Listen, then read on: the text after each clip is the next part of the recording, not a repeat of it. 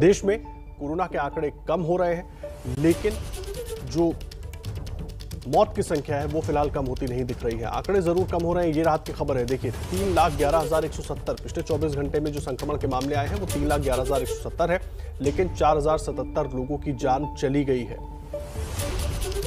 और आंकड़े कम हो रहे हैं, ये थोड़ा राहत ज़रूर मिल रही है।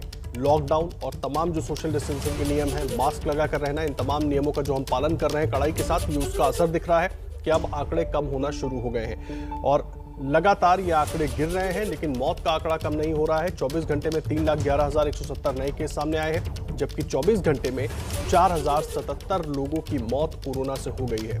अब तक कुल दो लाख सत्तर हज़ार दो सौ चौरासी लोगों की जान गई है। हालाँकि 24 घंटे में तीन लाख बासठ हज़ार चार सौ सैंतीस लोग कोरोना से ठीक भी हुए हैं। और देश में अभी छत्तीस लाख अट्ठारह हज़ार चार सौ अट्ठावन एक्टिव केसेस हैं। आज जो आंकड़ा आया है, चार हज़ार सत्तर लोगों की जान गई है और कल जो आंकड़ा आया था, तीन हज़ार आठ सौ नब्बे लोगों ने कोरोना संक्रमण की वजह से अपनी जान इलाज के दौरान गंवाई थी। ये आंकड़ों के ज़रिए हम आपको समझा रहे हैं। मामले ज़रूर कम हो रहे हैं, लेकिन मौत के आंकड़े कम नहीं हो रहे हैं। सावधानी बरतना बिल्कुल मत छोड़िए, हर वक्त सावधान रहिए। देखिए, पिछले 24 घंटे में तीन लाख ग्यारह हज़ार एक सौ सत्तर मामले आए हैं और जाँच अट्ठारह लाख बत्तीस हज़ार नौ सौ पचास जांचें हुई, जिसके बाद तीन लाख ग्यारह हज़ार एक सौ सत्तर मामले निकलकर सामने आए।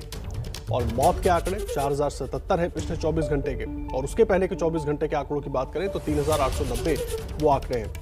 और वैक्सीनेशन पर एक नज़र डाल लेते हैं। देखिए, अब तक देश भर में कुल 18 करोड़ 22 लाख डोज लग चुकी है।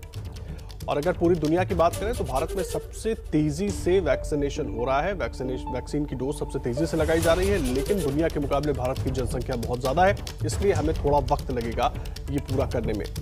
और 24 घंटे में करीब 11 लाख तीस हज़ार वैक्सीन की डोज लगाई गई है और 24 घंटे में पहली डोज जिन लोगों को लगी है, उनकी संख्या 6 लाख उनतीस हज़ार है। 6 लाख उनतीस हज़ार लोगों को पिछले 24 घंटे में उन्होंने पहली डोज ली है। और 24 घंटे में जिन्हें दूसरी डोज दी गई है, वो उनकी संख्या चार लाख चौहत्तर हज़ार के करीब है।